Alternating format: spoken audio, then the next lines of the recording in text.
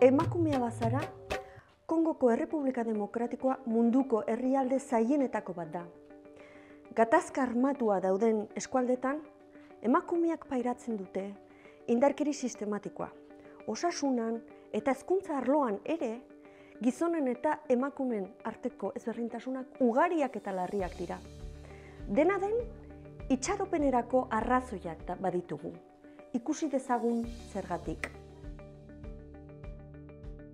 Pobreziaren aurkako borrokan, oinarrizkoak dira nekazal kooperatiben indartze prozesuak. Horrela aitortu dute hainbat alditan nazio batuei lotutako erakundeek.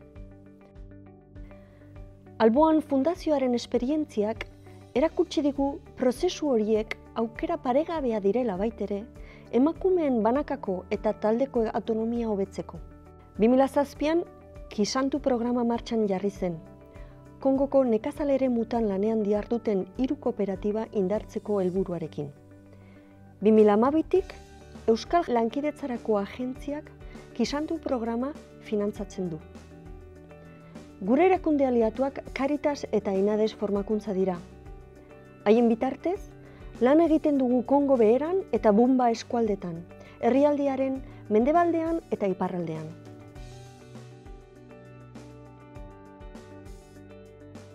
Nekazal kooperatibek bertako konsumorako produktuak landatzen dituzte, manioka, arroza, artoa eta kakauetek adibidez. Guk bultzatzen ditugun lan hildoak hauesek dira.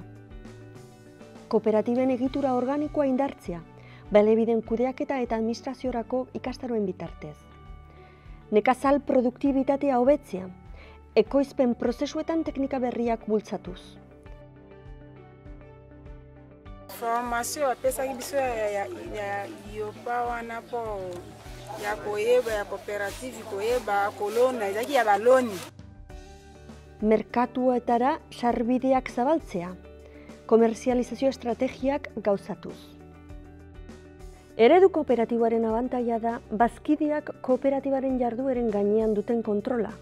Asamblada orokorran antolatuak baitira jarduera horiek, eta kooperatibaren funtzionamendua demokratikoa baita. Itinbiriko kooperatiben batasunean, ehun gizon eta hogeita mairu emakume parte hartzen dute. Gobernu organoetan gizonen presentzia handiagoa bazen, emakumeak bere burua antolatzea erabaki zuten. Haien aldarrikapenak eta elkarren arteko laguntza antolatzeko helburuarekin.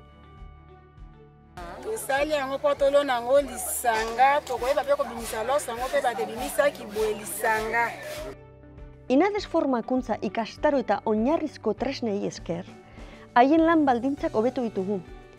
Horrela, indarrak aurreztu eta produktibitatea goratzia lortu dugu. liboso tozalaki mpe na liboka totutaki loso na liboka bongo tozolia mpe tozoteka oyo ya liboka elengi. Oyo tozonga su na kati na boumbu wana te. Toza be na rythme tozosoki wana ekufi tozongeli wana. Emakumean parte hartzearen aldarrikapena erronka handia da, batez ere gizonek burutako erakundetan. Itinbiriko kooperatiben emakumeen elkartearen kasu honek adierazten du hori posible dela eta komunitate guztirako eragin baikorrak izaten aldituela. nazomona biso na lolenge malamu mpe bazosepela na lolenge yango ke ekotine. Makambo na biso mpe echange ndenge tozalaka eza esu bongo te.